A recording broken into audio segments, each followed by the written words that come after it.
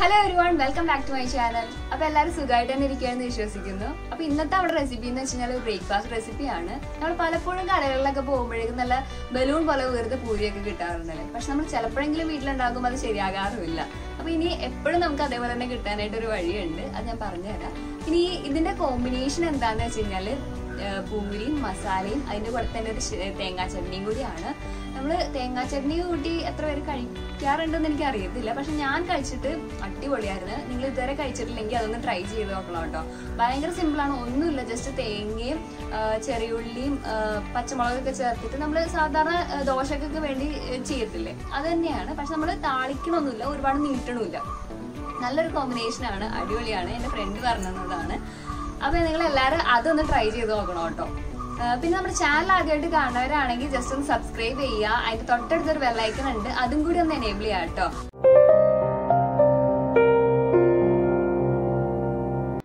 അപ്പോൾ നമുക്ക് പൂരി ഉണ്ടാക്കാനായിട്ട് ഗോതമ്പ് പൊടി ആവശ്യമുണ്ട്. അപ്പോൾ ഈ ഇതേപോലത്തെ ഒരു കപ്പിൽ ഞാനൊരു മൂന്ന് കപ്പ് ഗോതമ്പ് പൊടി എടുക്കുന്നുണ്ട്.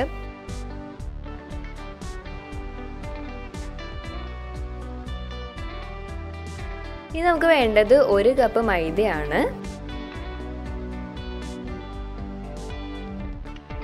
അപ്പോൾ നമ്മൾ മൂന്ന് കപ്പ് ഏഹ്, ഗോതമ്പ് പൊടി എടുക്കുമ്പോൾ ഒരു കപ്പ് മൈദയാണ് എടുക്കണത്. അതായത് ഒരു ത്രീ ടു വൺ എന്ന് റേഷ്യോ ആണ് നോക്കണത്.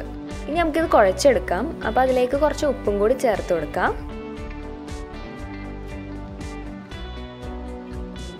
ഉപ്പ് എല്ലായിടത്തേക്കൊന്ന് യോജിപ്പിച്ചിട്ട് വെള്ളം കുറേശ്ശെ ഒഴിച്ച് നമുക്കൊന്ന് കുഴച്ചെടുക്കാം.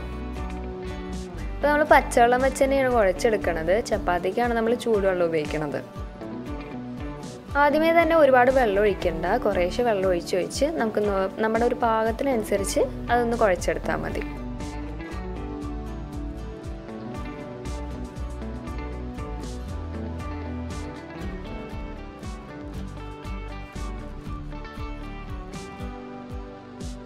നല്ലപോലെ തന്നെ നമുക്ക് കുഴച്ചെടുക്കണം. ആ കുഴക്കണയിലാണ് അതിന്റെ സോഫ്റ്റ്നെസ് ഇരിക്കുന്നത്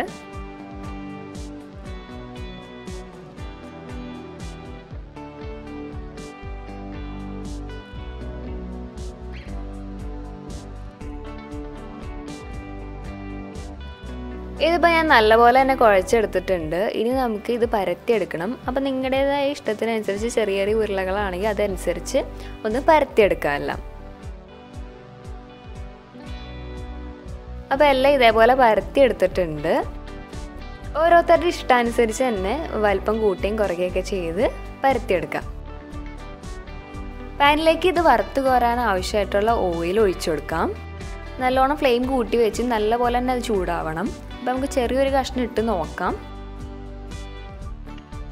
ഇതായിട്ടുണ്ട്. ഇനി നമുക്ക് ഓരോന്നെ അതിലേക്ക് ഇട്ട് വറുത്ത് കോരാം.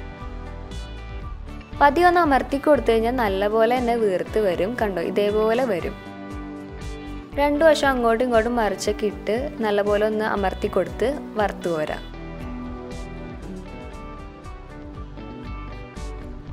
അതുപോലെ തന്നെ ബാക്കിയും കൂടി വറുത്ത് കോരുകയാണ്. നമ്മൾ പുറത്തുനിന്ന് വാങ്ങിക്കണ പോലെ തന്നെ വീർത്ത് വരണുണ്ട്.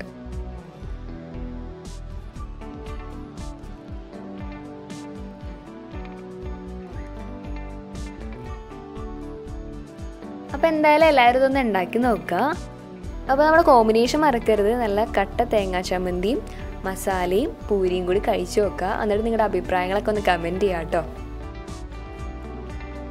അപ്പോൾ ഈ വീഡിയോ ഇഷ്ടമാണെങ്കിൽ എന്താ ചെയ്യേണ്ടത് ലൈക്ക് ചെയ്യുക ഷെയർ ചെയ്യുക സബ്സ്ക്രൈബ് ചെയ്യാത്തവരാണെങ്കിൽ അതും കൂടി ഒന്ന് ചെയ്തേക്കാം കേട്ടോ.